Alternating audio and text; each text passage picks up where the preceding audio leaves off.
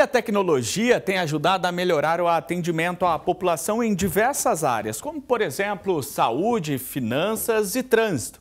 Avanços que colocam as principais cidades da região em um ranking que aponta as mais inteligentes e conectadas do país.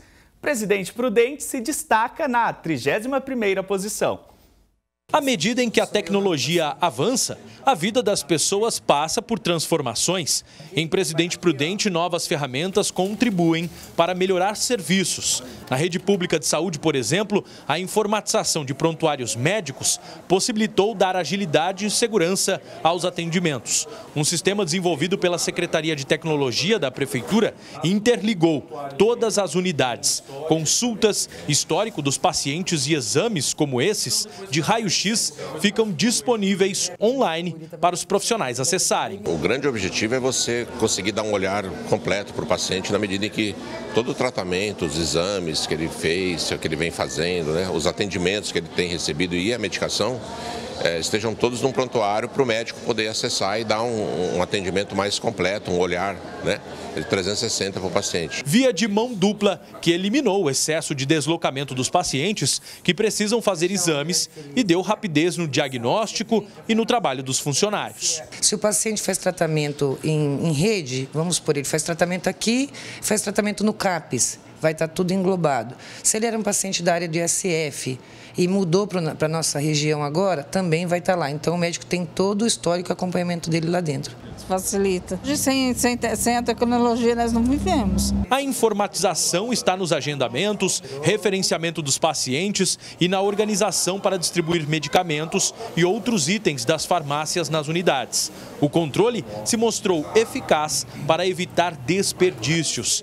E não para por aí. A cidade pode se considerar na vanguarda da tecnologia. Presidente Prudente já figurava no ranking dos 100 municípios mais inteligentes e conectados do Brasil e subiu de posição. Hoje ocupa a 31ª colocação. Existe um estudo internacional que, que, que, comprova que cada um real que você investe em tecnologia, você economiza pelo menos mais três em gestão de processo e em pessoal. Então, investir em tecnologia, você aumenta a eficiência, deixa o, o atendimento mais rápido, mais, mais ágil e lá na ponta, quem ganha é, não é só o atendimento à, à, população, o paciente, mas toda a cidade, na medida em que você consegue, com menos recursos, né? Você consegue fazer um pouco mais usando a informática, usando a tecnologia da informação. O ranking é resultado de um estudo elaborado por uma consultoria especializada e leva em conta 70 indicadores, entre eles o de tecnologia da informação, setor estratégico que tem contribuído para o desenvolvimento, inclusive com a abertura de novos postos de trabalho. A cidade é berço de startups, negócios do século 21 que começam em espaços compartilhados, os chamados coworkings. No que foi aberto pelo executivo, mais de 30 empresas estão previstas para iniciar operações. Novas ferramentas criam soluções para o cotidiano. Em repartições como a Secretaria de Finanças, os memorandos são todos digitalizados hoje.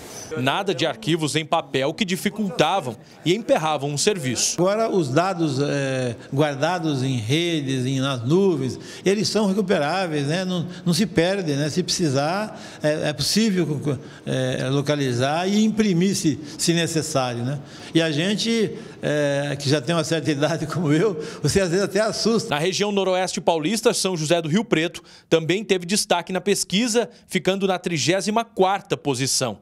Recentemente, a cidade informatizou o sistema de estacionamento e agora o motorista que parar na área azul pode comprar horas em poucos cliques no celular. Basta baixar um aplicativo. E é possível ter mais de um veículo cadastrado. Depois é só escolher o tempo que deseja ficar na vaga e o pagamento é feito por cartão de crédito também indicado no cadastro.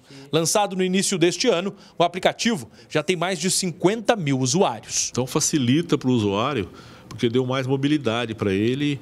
ele não está fixo, ele não precisa de um, de um fiscal para ele fazer o cadastramento. Então ele mesmo pode fazer esse cadastramento, esse controle. Ele é avisado quando, quando o tempo está tá, tá acabando, tá? Então, quer dizer, eu acho que só facilitou a vida do, do, do, do cidadão de, de, Rio Preto e do, de quem vem a Rio Preto.